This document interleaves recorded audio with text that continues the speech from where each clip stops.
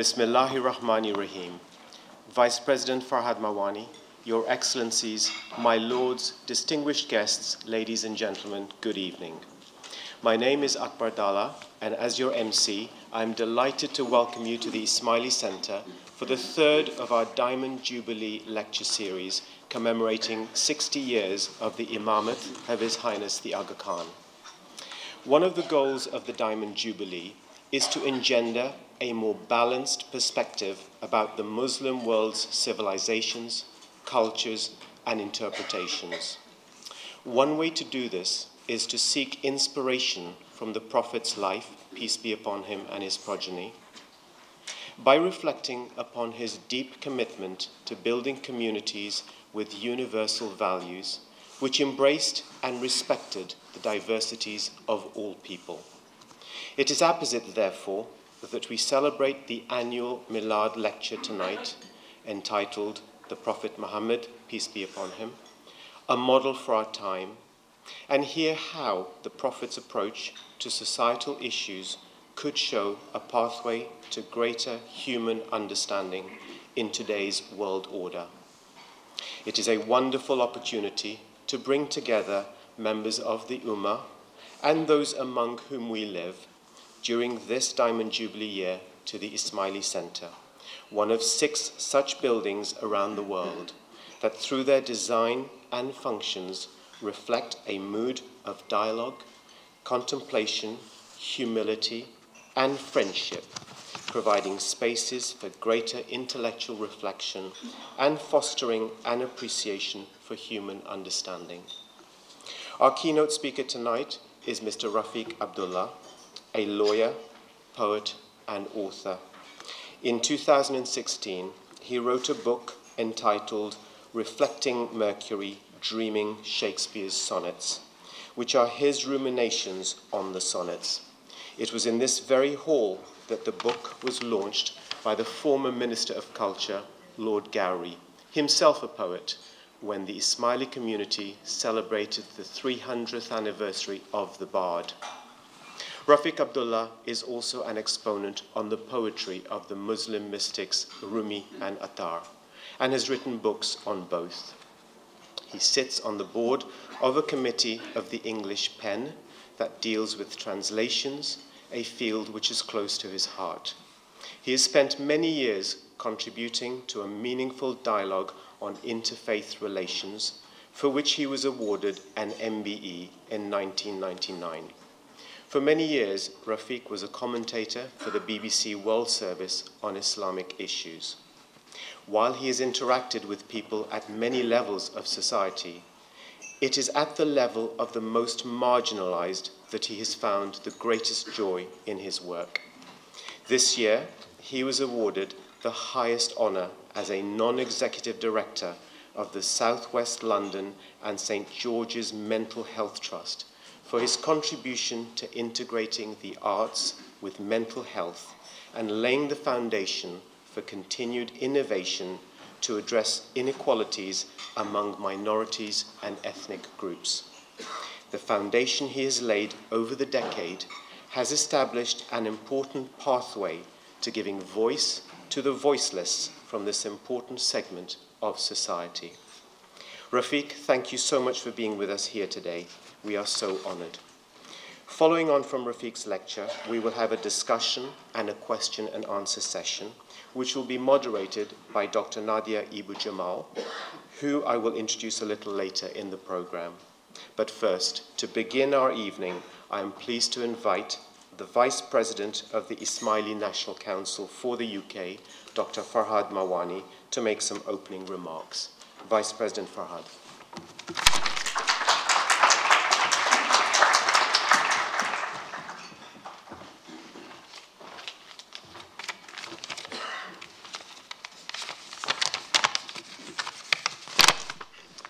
Bismillahir Rahmanir Rahim. My Lord, distinguished guests, ladies and gentlemen, Assalamu alaikum and Ya Ali Madad. On behalf of the President and members of the Ismaili Council for the United Kingdom, it gives me distinct pleasure to welcome you all to the Ismaili Center this evening. The occasion of Milad, which marks the birthday of Prophet Muhammad, may peace be upon him and his family, is an event of great significance for Muslims, and on behalf of the Ismaili community, I thank you all for being with us this evening, including those watching via webcast for the 2017 Milad al-Nabi lecture. Birthdays of extraordinary figures can be celebrated in many ways. Most, for Muslims, this is another opportunity to engage with the intellectual traditions and cultural expressions in Islam. We are not alone in celebrating this way. Indeed, there are many sister Muslim communities celebrating Milad through lectures, devotional songs, poetry, and storytelling. To that end, this building regularly hosts such programs that brings peoples of all communities together so that we may know each other better. As Akbar mentioned, we are celebrating the Diamond Jubilee of His Highness the Aga Khan. It is a time to inspire us all, and particularly our youth, to do more to champion and act upon core values and principles such as promoting pluralism, caring for the environment, standing up for inequality in our society, and helping improve the quality of life of the underprivileged. Partly as a consequence of the search for answers to the challenges of modern life, and partly as a consequence of socio-economic, political, and other factors, the Muslim world is in turmoil today. Sensationalism-hungry journalists and even some scholars say that it is a struggle for the soul of Islam. Others believe that Islam needs its own reformation similar to the history in Christian Europe, as if it was a single trajectory that all communities must follow, irrespective of the historical context.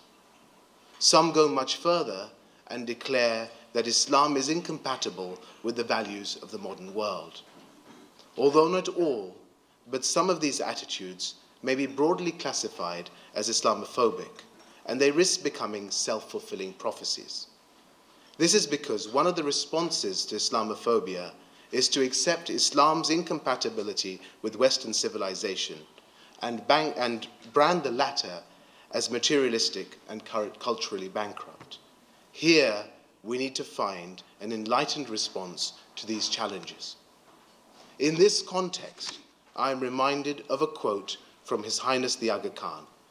In his presidential address at the International Sirat Conference held in Karachi, Pakistan, in March 1976, he said, and I quote, The Holy Prophet's life gives us every fundamental guideline that we require to resolve the problem as successfully as our human minds and intellects can visualize.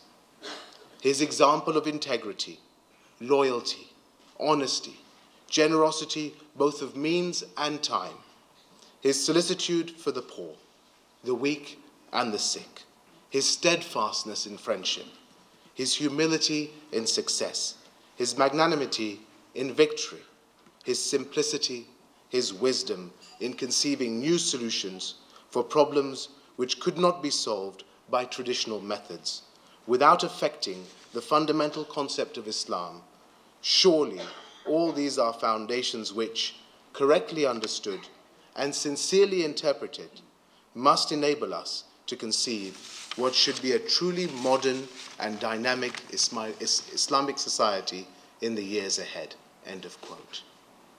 I note how His Highness reminds us that the Prophet's example needs to be correctly understood and sincerely interpreted.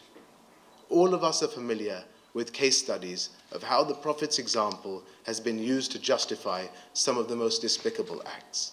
That is why it is important to devote time, particularly on occasions such as Milad al-Nabi, to carefully reflect on the Prophet's model and draw out principles that may be applicable in contemporary times.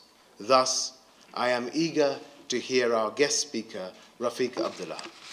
Akbar has kindly already introduced Raficq Abdulla and, our, and Nadia earlier on this evening, but if I may add, Raficq is what I would refer to as a closet Muslim. He does not go around brandishing his credentials. Rather, he lets his work and his actions speak for themselves. That is clearly something we have in common as a community, but clearly I would say that standing here today. Raficq is also a friend, and I would recommend that you find a copy of his adaptive works on Attar, Rumi, and Shakespeare, as mentioned earlier this evening. Raficq, thank you for being here this evening and for all you have done over the years to bridge society by, by using, amongst other mediums, arts as a conduit to bring us together. Nadia, thank you also very much for helping moderate us this evening, which I think it'll be in great need of. Finally, may I take the opportunity on behalf of all present to extend our collective gratitude to all the volunteers, too many to mention individually, for supporting this evening's lecture. Thank you very much, and it gives me great pleasure to introduce Raficq.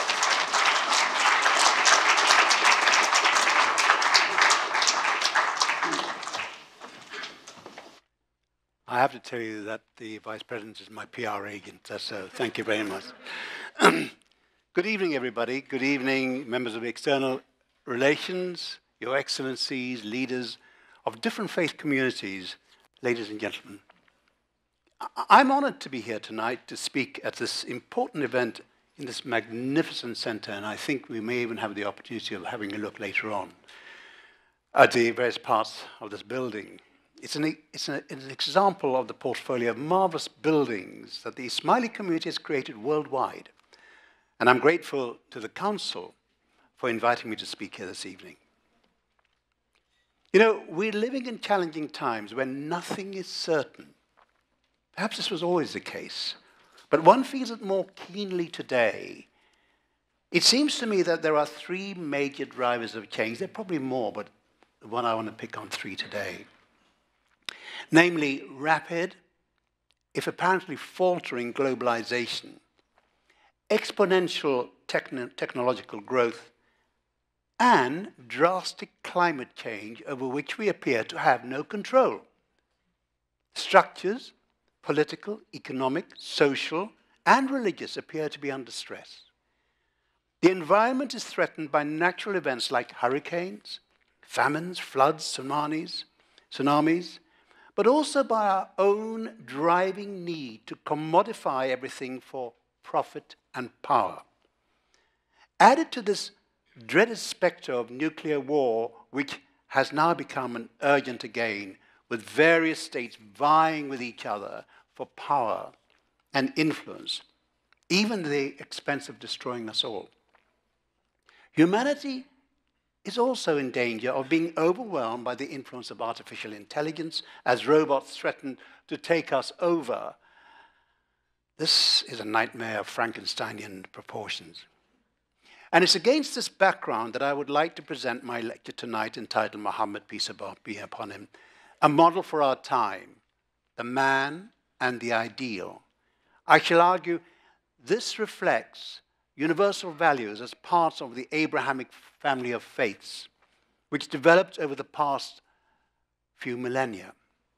For each of these faiths, as well as other major traditions, like Hinduism and Buddhism, for example, address the larger existential issues that beset all of us, whereby we strive to make meaning of our lives and find a purpose. Islam is the youngest of the Abrahamic faith traditions, and Muhammad is the only prophet who was born in the full glare of history. His life and traditions constitute an example for some 1.6 billion and growing people today across the world, covering many time zones, cultures, languages, and traditions. When we examine his life anew, we may find, if not solutions, then pointers for a new way of dealing with our present world. Therefore, I want to touch on Muhammad the man, born in Mecca around 570 CE, and who lived in the Arabia of that time, which is made up of a group of tribes and clans with their own rules of propriety and social ordering. I will also speak on Muhammad the ideal, whose example and teachings continue to influence the lives of Muslims today. We should remember that when Muhammad was born, Mecca and Medina were thriving trading centers which had connections with the surrounding Persian and Byzantine empires. We should also remember that, like all of us, he was born and existed in a physical and historical context where a multitude of issues were extant and with which the new faith was revealed through him, it had, which the new faith had to grapple with. Responses to these challenges were not automatic and had to be negotiated carefully, taking into consideration the transitional nature of society at that time and the new way of the world that was being created by the revelation. The Quran, which embodies the revelation, refers to the state of affairs largely by way of reminder, by exhorting the faithful to build on the principles laid down by earlier prophets, which Islam respects and pays tribute to. What I want to do this evening is not to give you a history of pre Islamic Arabia, but to share with you some critical issues that Muhammad had to deal with as man and as a prophet.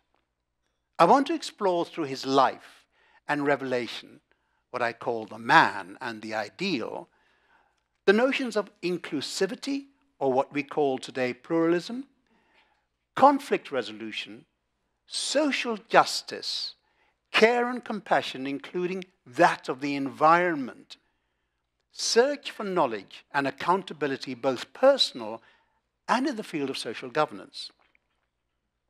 You will notice that these are political values in the wider sense. There are other profound principles, such as the life of the Spirit, the inner vision that enriches and enlivens all faiths and grounds us paradoxically in the possibility of glimpsing the transcendental in our lives.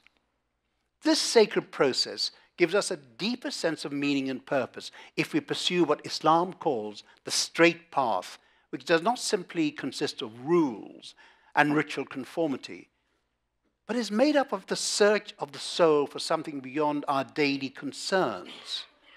This is commonly known as Sufism, the heart of prayer and faith. I will touch on all these issues. However, I want to add at the outset, this is important, that what I have to say is gleaned from my own readings and interpretation of various texts Texts are tricky. They are there to be read and interpreted. And inevitably, inevitably, they are read through each person's own perspective. Clearly, the perspective I will share with you this evening is one of a number. And there are many different ways in which the life and symbolic value of the prophet may be understood and expressed. We are also confronted by what appears to be a sea change in how we understand and manage to discover truth in today's media obsessed, social networked world in which delirious and narcissistic, narcissistic storytelling prevails. In fact, truth, which implies a degree of necessary privacy and struggle, a dimension of private regard we all need in order to maintain some proper sense of identity, truth appears to have disappeared into the fretwork of lies and opinions that fill the ether. I think it is Mark Zuckerberg, Zuckerberg uh, Facebook, I, I, yeah, or whatever. Uh, anyway, the egregious Mark Zuckerberg, who declared that privacy, privacy, is no longer a viable state of being. It is no longer a norm. My God, a recipe, I believe, for insanity both individual and social. We are still driven to make sense of our lives and the world we live in. And this evening, I'm going to have a stab at this by sharing with you my reading of the life and significance of the Prophet of Muhammad. Let me start with Muhammad the man. He was a merchant, born to the clan of the Quraysh in, the, in Mecca in the 6th century. His ancestors are said to be related to Abraham and were respectable members of the Meccan society of the time. He was married to Khadija, a woman of standing and wealth in her own right. And indeed, Muhammad worked for her as a trader, which took him to various parts of the region, which enabled him to become aware of different cultures and traditions. As he grew older, material success was not enough.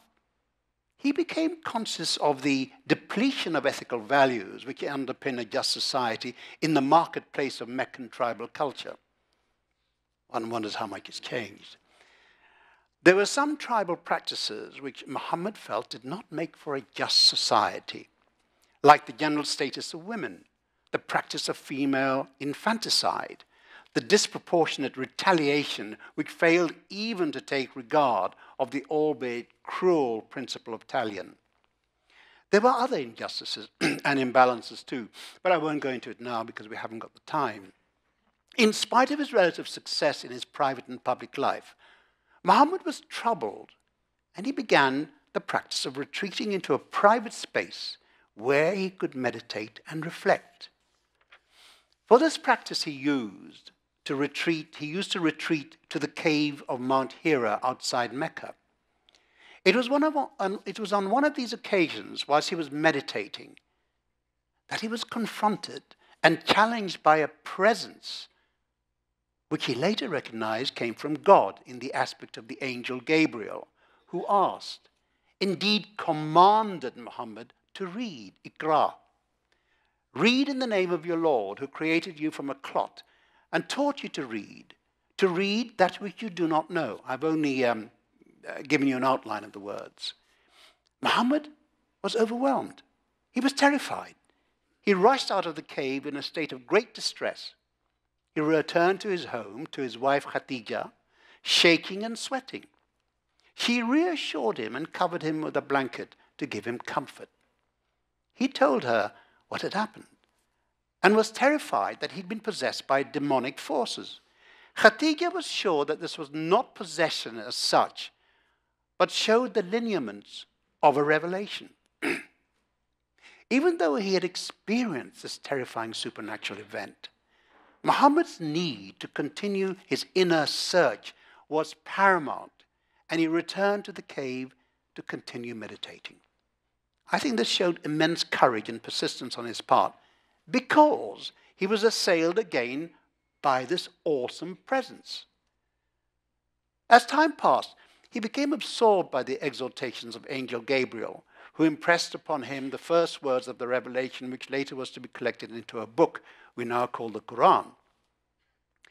As a consequence of these early encounters with the angel Gabriel, he was slowly drawn, after his initial doubts and fears that he was being possessed by a jinn or demonic presence, into preaching the message he was receiving, which consisted of worshipping the one God and none other, since there were no other deities.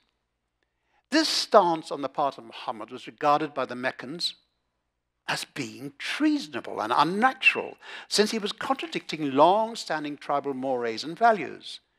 And this new revelation of the one God, namely Allah, also put into jeopardy the trading relationships of the Meccans with others who visited the city and the sanctuary called the Kaaba, which housed a pantheon of deities whom they worshipped. Thus, business was endangered by his subversive teachings. However, Muhammad was not daunted and continued to preach the message of the one God. His disciples were his wife, Khadija, his, son in, his cousin and later son in law, Ali, and they were joined later in due course in the first three years by a small group of new converts. And their security became endangered over time, so that uh, the small group had to flee to Mecca for their, uh, flee from Mecca um, for their lives. And they found refuge in Abyssinia, where the Christian leader called the Negus gave them protection. The Negus saw at once the similarity in belief between his faith and that of the new Muslims. They believed in the one God, as propounded in the earlier scriptures, which were followed by Jews and Christians. As we see, the beginnings of Islam were stormy and presented major challenges both to the exponents and to the recipients.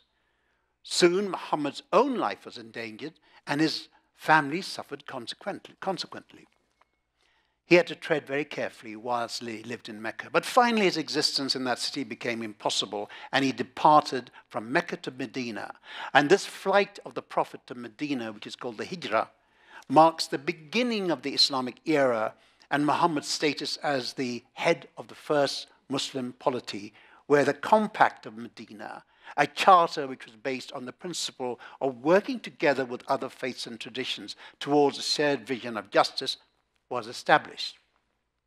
Now, this, this novel agreement enabled various faith communities to live together in the city. One could regard this charter as a prototype of what today we call a pluralistic ethos, taking into account the context of the time and its creation. Now, exponents of this new vision, which came to be called Islam, extended their power and influence into vast areas of the world, stretching from the Pyrenees in Europe all the way to the Oxus River in Central Asia in a period of less than 100 years. Imagine that. This is pre-medieval period. This new explosion of energy engulfed both ancient civilizations such as Byzantium and Persia, and new peoples with their own historical traditions such as Zoroastrianism, Judaism, Buddhism, and Hinduism. And this process give, gave rise to new ways of living together in every field of human endeavor. Now, I don't mean to romanticize the origins of Islam, which were fundamental, fundamentally those of conquest, but there were also wider connections with the populations ruled by Muslims, which included trade and, most importantly, culture. The Indian Ocean route is a good example of how this empire grew even beyond the Oxus in the east, spreading to what we now call Malaysia and Indonesia, where my ancestors come from, and South China Sea. From these interactions, we discern the ideals of the Prophet, both in his own life and in the revelation, being played out. Here I want to make the point um, that Muhammad as an ideal encompasses more than Muhammad the man, in that one turns to the Quran, which was revealed through him, and the Sunnah, or his life and sayings, which were attributed to him by later scholars. Now, this ideal also projects the juridical, mystical, and civilizational aspects of the Islamic world, which the scholar Marshall Hodgson calls the Islamicate culture a notion which is attached to the wider aspect of cultural living where Muslims were or are dominant rather than a purely faith Muslim culture. Now, this Muslim vision of a multifarious world was recognized as important by both Muslims and non Muslims in the history of civilization, and which is vital for us today when certain groups within the Muslim world claim legitimacy through dogmatic assertion. Here I want to refer to some important facets and expand on how they address issues that are relevant to our modern world. These aspects are influenced by, infused with, the Prophet as the ideal. They are the environment, which is a crucial issue, conflicts which are found all over the world and are jeopardizing society, the idea of living together in an increasingly globalized world, which today we call pluralism, the search for knowledge, which characterizes the accelerated pace of our scientific adventure, both in terms of technology and pure science. By the way, we should always be aware that this form of knowledge is neutral with regard to ethics. The principle of social governance and accountability, which is now bedeviling our world with such intensity, and finally, I will touch upon the need for each of us to embark on what I call the inner journey, which is the only way, it seems to me, to find true meaning and purpose in our lives. So let's take in the environment. As I've already said, we're so lucky to be in this beautiful setting which has been created on notions of beauty and balance to be found in the faith. It's clear that Islam and the Prophet himself regard the environment as sacral or sacral which has been given to all living creatures by the divine as a gift to be nurtured and not as an entitlement to be squandered. The earth, metaphorically, is our mother, and we are entrusted with her well being. This sacral quality of the environment is beautifully expressed in many verses of the Quran, and one pithy verse reads, O children of Adam, eat and drink, but waste not by excess, for Allah loves not profligacy. The trust I've mentioned, which in Arabic is known as amanat, extends to everyone, to all creatures, indeed to all creation, even to inanimate objects. We are asked to treat them with respect, There's a wonderful parable called The Animal's Lawsuit Against Mankind, written during the 10th century by Ikhwan Safa, where the animals complain about their treatment by human beings. I had the pleasure of reducing the story to a 15 minute exposition for an audience with attention deficit disorder, which I know you haven't got here. but it was fun to do it, I have to tell you. It was fun because I had to keep the attention of the audience focused by telling the story in short form and with energy.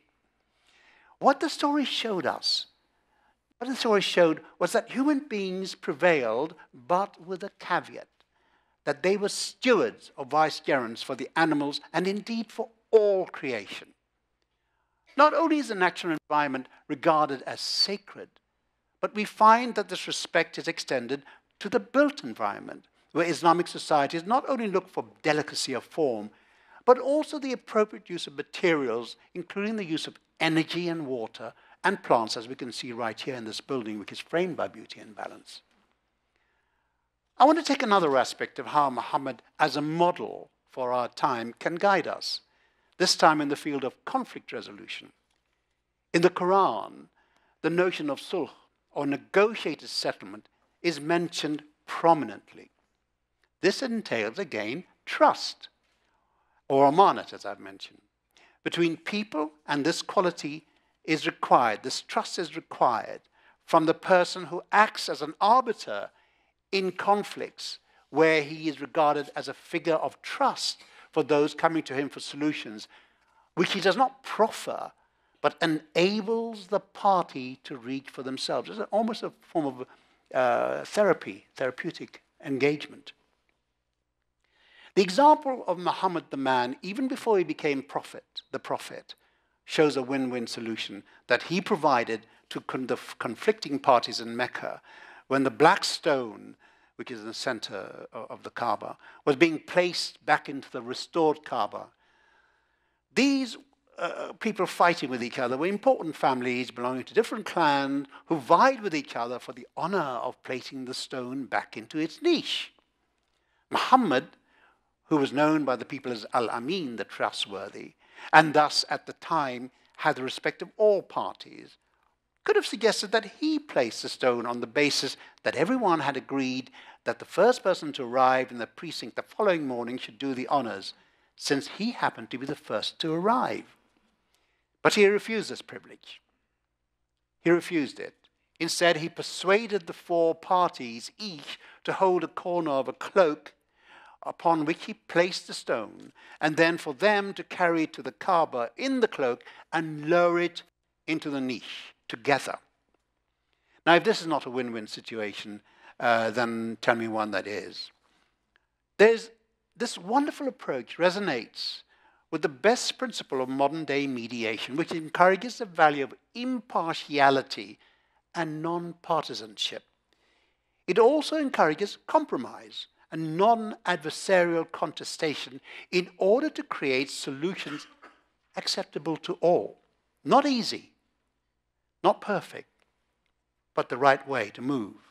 And Muhammad's creative and ingenious solution to that problem fits in the, the principle of generating practical options to find solutions. Another example of his life which relates to mediation is to be found um, in the story where he forgives a woman who habitually emptied a trash can over his head as he passed by each day under her balcony. He obviously didn't like him. Mecca. when, he failed to, when she failed to do so on one occasion, he inquired after her and was told that she was ill. So he sought permission to visit her and give her solace. Now, this act is in the best tradition of transformative mediation, where forgiveness plays a cardinal role. At the heart of this lie the principles of compassion and mercy, which preface each Muslim prayer, and indeed which are found in all the great faiths and in our shared sense of humanity. This then takes me to the next principle, the respect for pluralism, which involves the way we should treat each other in our daily lives. By this I mean how we descend from the high blown abstractions to the practical and messy world of mixed motives and the perennial problems of engaging with others. Here, Muhammad is deemed to respect the Quranic assertion, which states that we are all created from one soul. It was mentioned earlier. The verse in Surah An-Nisa reads, O mankind, fear your Lord, who created you from one soul and created from it its mate and dispersed from both of them many men and women. Now, this verse points the way to a cosmopolitan ethic which calls for an engagement even if we don't agree with another's perspective and belief. And this is based, if you like, on the, uh, on the principle of the golden mean to do unto others as you would have them do unto you.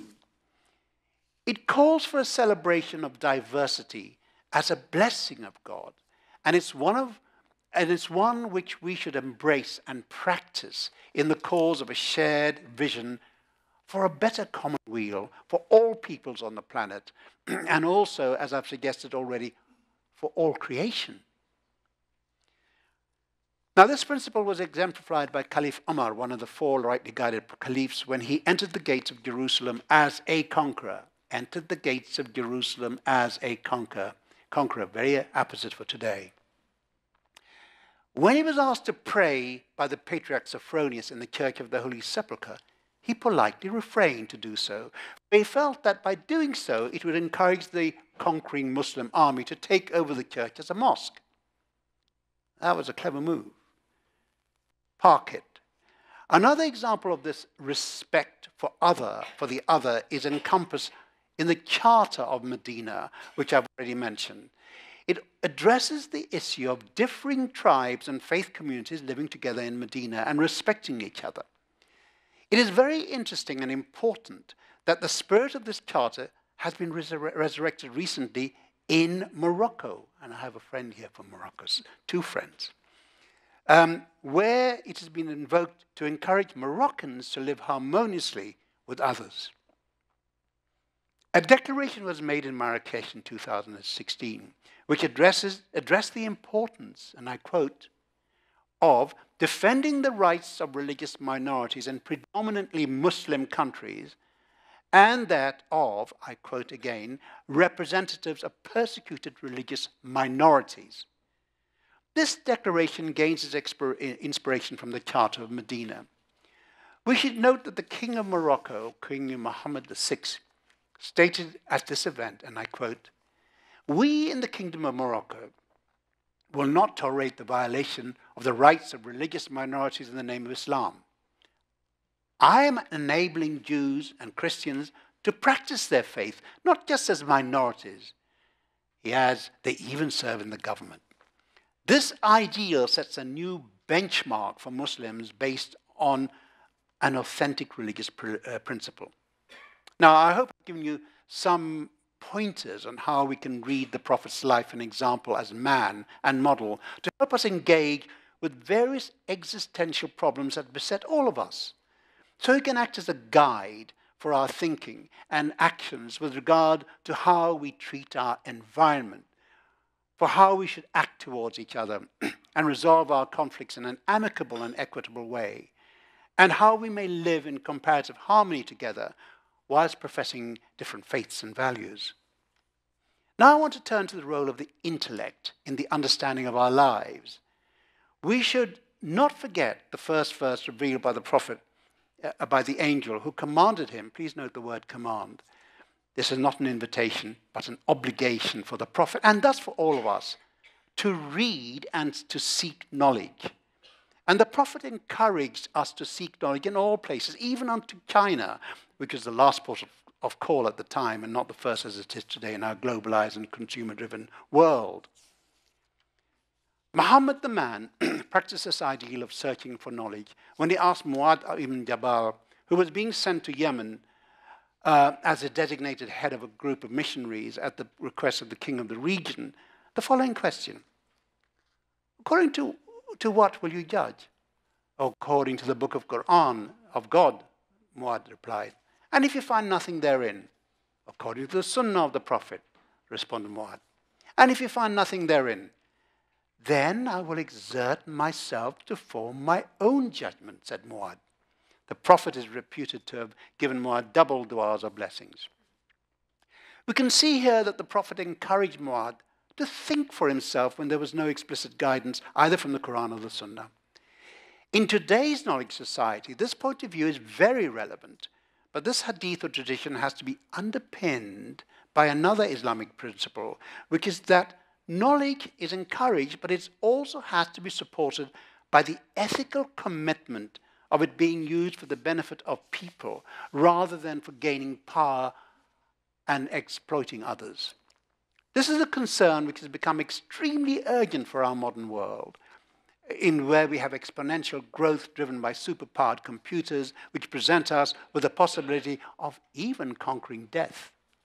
Also, we should note that so much of our social media is now dominated by a handful of companies who are in fact changing our ways of thinking and feeling.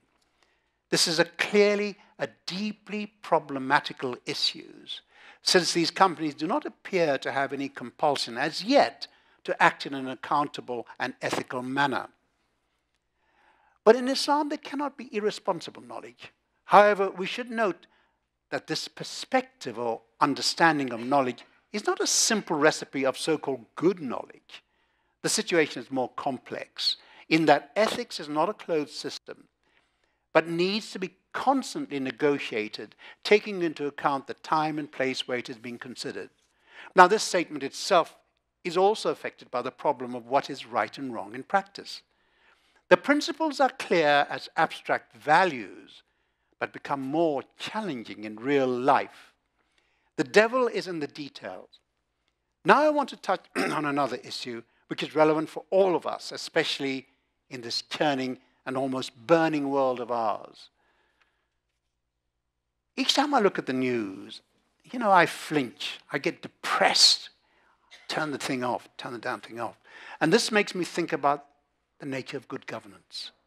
How are societies to function? What is the future of the rule of law as we in the West have been taught to understand it? And this is a bedeviled question now in extreme peril with the rise of populism and its associated savagery like xenophobia, discrediting of critical thinking and expert knowledge, the trivialization of social institutions that give some orderly existence to us, and most depressing of all, this business of so called post truth, where lies are taking over from speaking honestly, sticking to facts and cogent analysis, which distinguishes between a statement and an assertion or opinion, which is fashioned to affect the emotions rather than educate. Here again, the notion of amana, trust, is very important.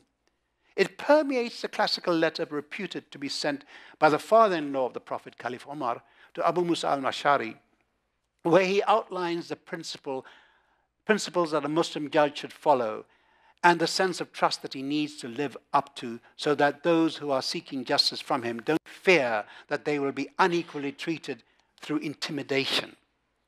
A similar theme runs in the famous letter of Caliph Imam Umar Ali to Malik al-Ashtar when appointing him as the governor of Egypt, where he exhorts al-Ashtar to pay special attention to those most in need, um, to those, sorry, to those most uh, in need um, of justice. In this case, the destitute, the disabled, orphans, and elderly. They should be treated in such a manner that enables God to excuse him, that is al-Ashtar, on the day he comes face to face with divine. Ali emphasizes that this obligation is onerous for governors, but God makes it easy for those who aspire to the hereafter, who restrain their souls in patience and trust in the truth that is promised to them. Now, you know, he recognized that the virtues he was asking Al-Ashtar as a judge are not easily obtained or enacted. But what becomes clear to me when I contemplate Ali's advice is that these difficult principles become more practicable if one keeps in mind their transcendental backing. So let us find ways, uh, you know, that we're not uh, uh, uh, try to ease ourselves out of finding convenient let-outs and so-called pragmatic solutions. We're always failing. But as long as we are aware that we are failing, as long as we are still hearken to our conscience and the need for akhlaq, as the Muslims call it, which is the action, obligation to act ethically, there is hope that we should pay um, advice, uh, attention to Ali's advice. Now, um, I will go to the last thing because time is running out very, very, very quickly. Um, I've spoken for some time about how the Prophet can and does influence the man and model. And we talked about pluralism and governance and so on. Now I want to make a final point which underlines all these principles and which for me at least underscores the faith of Islam and, represents by, uh, and is represented by the figure of Muhammad. This is, for want of a better term, I call the inner life, the self-realization of inwardness, which, which paradoxically transcends the ego, by which I mean we lose ourselves when we look inside ourselves. The Prophet advised us to die before we die, whereby we recover our own fallible spiritual reality through prayer, meditation, mindful contemplation of holy texts. There's a Christian tradition called Lectio Divina, which the Benedictine uh, monks use for reading texts slowly and absorbing these texts. Um, and also uh, for Muslims, the life and sayings of the Prophet. When we look inside ourselves, we enter the realm of dream, aspiration, longing, desire for the greater, and possibly ecstatic retrieval or remembrance that mystics and poets such as Rumi and Attar, Ibn Arabi, Rabia al-Adawiyya, Nasir Khusro, and many others speak of. All these people lived in different parts of the Muslim world and in vastly different eras. Now we enter the realm of visionary utterance and silence, of light and stillness, of suffering and unexpected joy, which reflects divine grace, or what Muslims call barakah. The, the, uh, the Prophet exemplifies all these qualities so, first let me consider light, which is called nur in Arabic. It is the Prophet's father, Abdullah, who had this light, and he passed it on to Amina, his wife, when she was pregnant, and then the Prophet received this light of blessing. This is an uncanny quality. We are moving beyond the everyday to the transcendental, which we may only glimpse.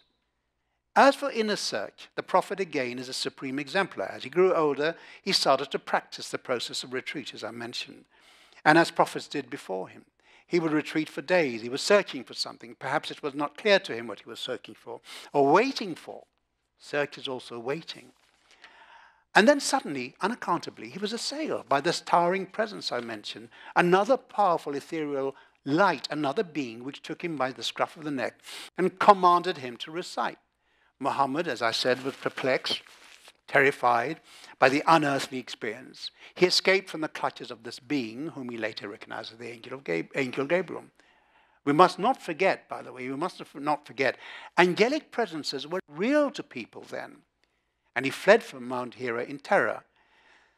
Not only was the presence overwhelming, but Muhammad was in fear of losing his mind. Was he mad? Was he invaded by the jinn? He did not know. This was the beginning of Muhammad's inner visionary search for the divine.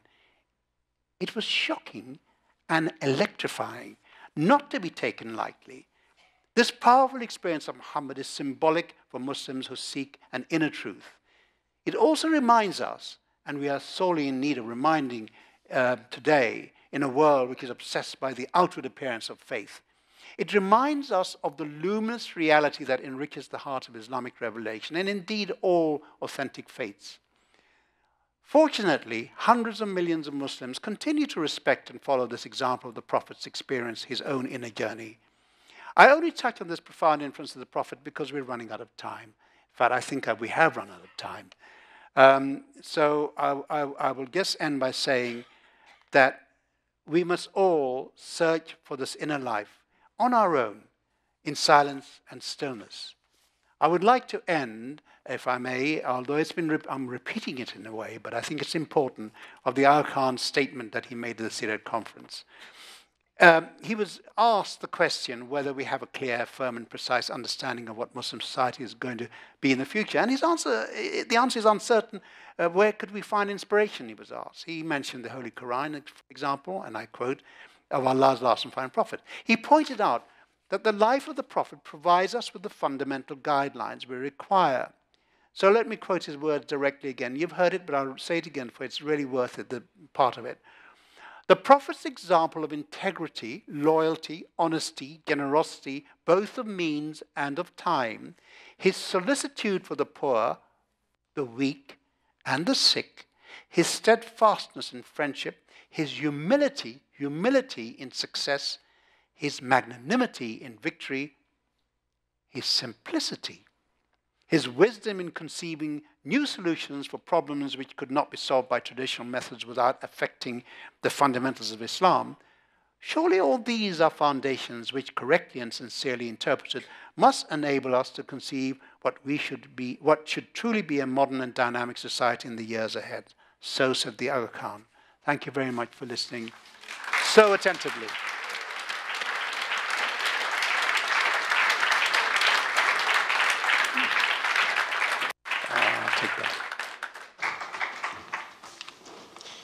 Thank you, Raficq, for an intellectually stimulating presentation which touches upon some important global issues. I will now call upon Dr. Nadia Eboo Jamal to come onto the stage for the moderated discussion.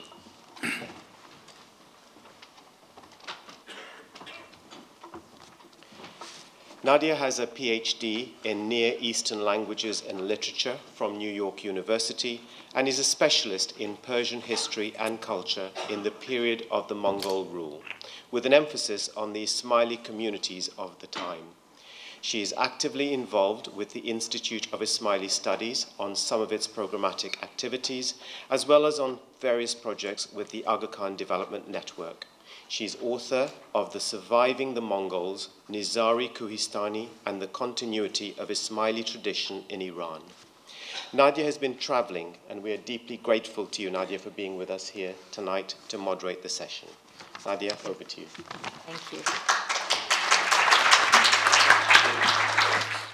Leaders of the Ismaili Council for the United Kingdom, Your Excellencies, distinguished guests, ladies and gentlemen, it's a privilege and honor for me to have been invited to moderate this evening's question and answer session. Um, I would like to thank you for that opportunity. Each year, millions of Muslims come together to commemorate the life of Prophet Muhammad, peace be upon him, and his progeny. Believed by Muslims to have been sent by God as a mercy to mankind, an exemplar and a light. Tonight we've had the opportunity, a wonderful opportunity, to be reminded of all these facets mm-hmm. in a truly illuminating and inspirational talk by this evening's speaker. And for me at least, it brings to life the message of the Prophet in a way that hits both the head and the heart. Uh, we often talk about the intellect, but it's also the inspiration of the prophet that touches the heart. So I'd like to thank you for that. Thank you. Thank you. I'd like to start today's question and answer session by posing a few questions myself, if mm-hmm. I may. Mm-hmm. As you mentioned, we're living in challenging times. Um, Muslims are being disparaged in the media. Um, sadly, Muslims are disparaging each other.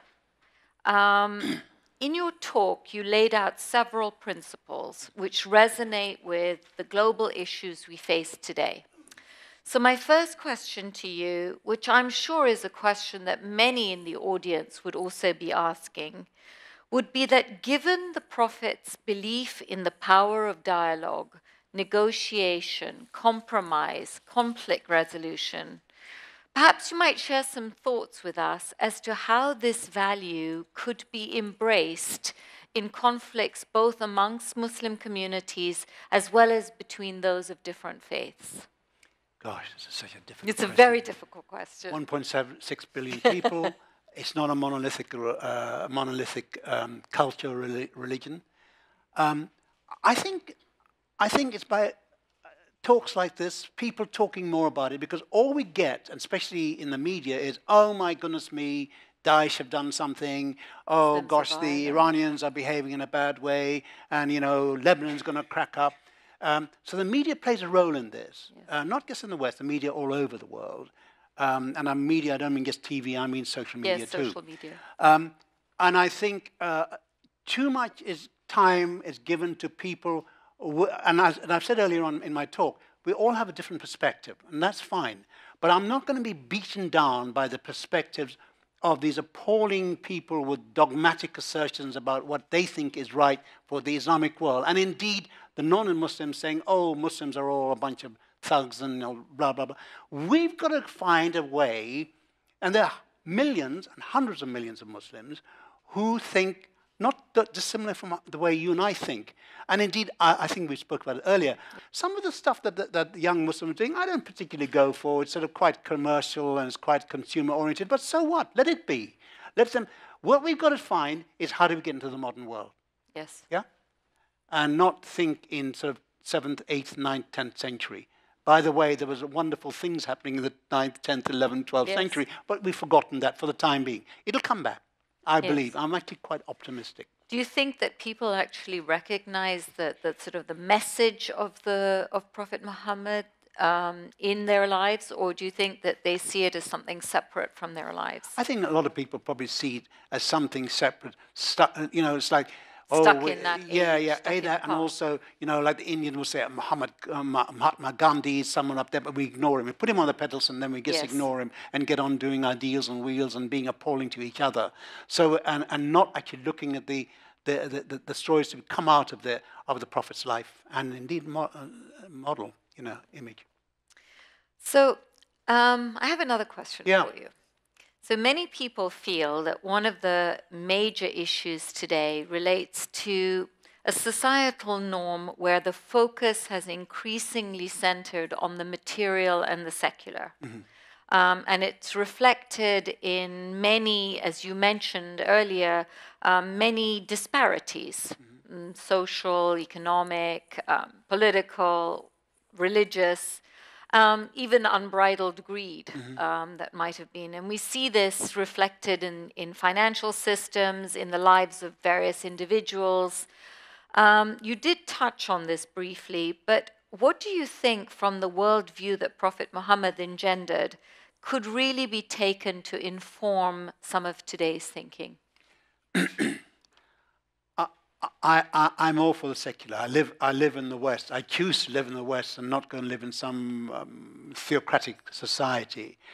I think what we are in danger of losing, though, are some of the ethical values. Now, as I said in my talk, ethics is not so clear cut. Morality may be clear cut. If you do so and so, you'll be all right. If you do so and so, you'll be no rules and morality. Ethics is actually questioning what is right and wrong. I, I think we do that in the secular side, but I think something terrible has happened in the last decade or even the last few years with the so called post truth society, where, as I argue, people are disrespecting integrity, personal integrity. So, how do we go back to finding the, the personal integrity? Uh, Nadia, I don't have the answer for that. No. And I don't think that religions per se, organized religions, have the answer either. I think part of it comes, as I said in the last bit of my talk, is looking into yourself, looking inward and, and contemplating and meditating and asking yourself, you know, the, the, this whole thing of greed, we're talking about greed. Um, the, the, the Swedes have a, a, a, an idea uh, about what is called lagom. It's enough. Yes. Basically shaping your life such that you're just not putting yourself at the center, but also Oh, thinking yes. about others yeah, in yeah. everything that Yeah, you do. yeah. Uh, sharing of knowledge, as you said, seeking knowledge, sharing knowledge, um, Yeah. sharing of your wealth, Sure. sharing of your time. Sure. And, and the idea of not putting aspects. yourself center. If people start to practice that, they'll find, my God, that's a relief. I'm not in the center. The luggage has been thrown out. My wife is always saying to me, get rid of all the stuff you've got in the house. Get rid of all the stuff.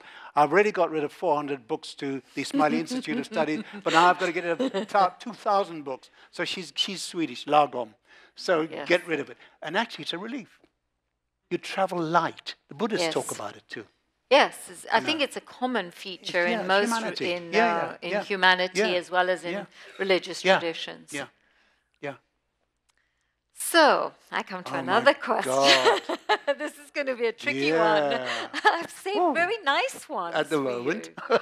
um, as a poet, mm-hmm. um, a renowned poet, I, I should say, uh, and a translator mm. who understands the power of the word, the power of language, um, the power of the symbol, um, and also the challenges that surround the word, mm. translation.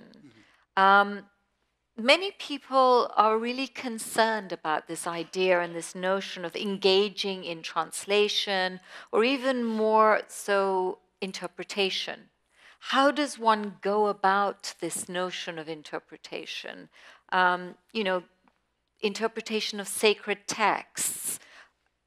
It's a complex issue, but could you share some thoughts yeah. on this? I mean, you know, as soon as we're born, we're interpreting, yeah? We're yes. interpreting our mother or whatever, light, the hand movements. So, and by the way, texts are not just written stuff. Uh, yes. Clothes that you wear are text. Everything that you see are, uh, are text to be interpreted. We, we are, as soon as we we're alive and, we're interpreting. Even an autistic person will be interpreting something in, in, in a way uh, that a non-autistic person. So we, we are condemned to interpret. I think what we have to learn is also to interpret, first to interpret ourselves. And that's a lifelong journey, yes. right? You're not saying, I've got the answer. It doesn't work like that. But I suppose part of the thing is the, it's, it's, it's the journey that counts. I think it was Jean Genet who said, uh, it's not the destination, it's the actual journey that counts. Attar says that too yes. in the Conference of the Birds. It's the journey that it's counts. The people, the, the group arrive at the end only 30 birds, Simurgh. The rest of us perish on mm-hmm. the way. But we must go on that journey and, and have a, a, a degree of, you mentioned earlier about uh, a degree of modesty and say, we've got to try again, try again, try again. I went to see uh, yesterday um, an exhibition in the Royal Academy, and I recommend it's coming off on Sunday, of Jasper Johns' painting. And I'm afraid my friend Farhad has missed that because I'm not around here, so he can't come with me this time. But it's interesting how Jasper John has done his paintings because I went two or three times before, and I went yesterday and spent time there, and I saw things in the painting because I actually listened to the what the, the, the artist was talking about gosh, I didn't see that. So it's the way of being intelligent in looking at it, but don't be too imp- impatient or ambitious about yourself. We all work at a certain level, but it's when the penny drops. I mean, Farhad actually and I went to um, uh, uh, an exhibition some time ago. Farhad claims, oh, he doesn't really know, mm-hmm. but uh, but he can see detail that I didn't see, and that's exciting. Suddenly we were becoming, you know, we were bonding in a different way. It was lovely. So as many say, it's an unveiling of truths. Yeah, yeah. And texts are many layered and tricky. And by the way, we're all texts ourselves. People are reading us, and we have to read ourselves. And that's why, even when I speak about the Prophet Muhammad, I'm only, you know, like, what, 1400 years later, I'm reading written texts about him. Yeah? Yes. And what about translation? Translation you know, translations played such an important part in early Islamic uh, culture because it's through the Islamicate world, it's not just Muslims, there were Jews and Christians there, who were translating the classics, Plato, Aristotle, pre-Socratics, into Arabic and other um, languages, into, into the Western world that came, we were the conduit, if you like, the Islamic world. Um, and translation was necessary. There is a problem um, that translation could also be a form of um, what's the word I want um, uh, uh, of colonialism if you're not careful of being imperial mm-hmm. and there is that danger a little bit I'm afraid in the Muslim world of saying um, you know you've got to know Arabic really uh, and again the, the Dr. Keshavian Muhammad Keshavian doing and I doing this is um, Sharia book we don't speak Arabic now, I know that there'll be people saying, well, you don't speak Arabic. How can you write about Sharia? Well, excuse me, wait a minute. Are you saying Islam is an Arabic religion? Because if you are, then it's not a universal religion. So translation is always necessary and always imperfect. So you just have to work through the imperfections all the time, which should be fun, actually. I think it's the dynamic of purity. Somehow there is a there is a sort of a notion that there is something that is pure and that takes away from encounters, that takes away from interconnectedness, that takes away from sharing, it takes away from all kinds of things that um, really are, are not in keeping with the worldview at all. Nadia, there's, there's a parallel, and perhaps even uh, they were influenced by a lot of uh, 20th century Islamists with German Romanticism, where there was a notion of purity there, which led to fascism uh, or, Yes. or Nazism. You know, purity is a dangerous word. Keep it at a distance. And by the way, none of us are pure. we discovered that in England. you know, come on, you know.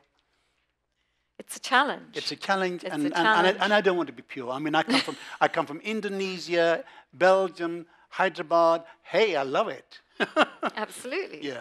It's so purity is not what I. Well, I would like to pull this to a close. We will be around. I'm, I'm speaking on your behalf that we will be around if anyone would like to um, spend a few Yeah, yeah, moments sure, sure, afterwards. sure. And uh, I thank you all for uh, this discussion. I thank you so much, Raficq, for you, taking thank the you, time. thank you, Thank, thank you so Nadia. much, everybody. Thank you. Thank you. Well done. More.